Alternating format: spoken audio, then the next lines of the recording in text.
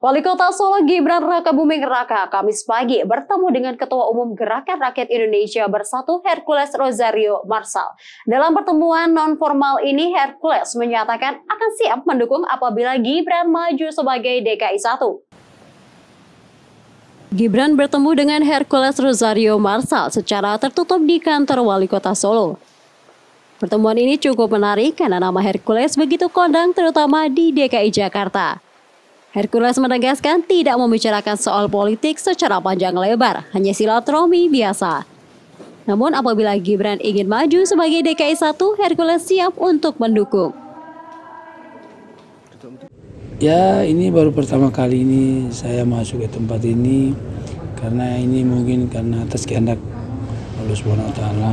Saya karena saya ini bukan siapa-siapa, tapi bila bisa menerima saya, Ya mungkin Allah tahu bahwa dulu saya juga berjuang untuk buat Babe untuk menjadi gubernur DKI pun orang ancam saya kiri kanan lawan incumbent apa nggak ada urusan saya bilang saya tetap dukung untuk Gibran sendiri selalu mengelak soal pilkada dan tidak mau ambil pusing.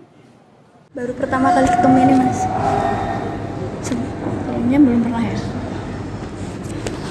Mas kesekian kali ada yang menyatakan dukungan juga misalnya Mas Gibran ke Jakarta hmm. komentarnya Mas ya enggak gimana gimana aku santai ya. kan 2024 sudah semakin dekat hmm, masih jauh Pertemuan antara Gibran dan Hercules adalah yang kesekian kali pertemuan dengan tokoh terkenal. Yang menarik adalah Hercules dikenal sebagai orang yang mendukung Prabowo Subianto. Widinugroho, Kompas TV, Solo.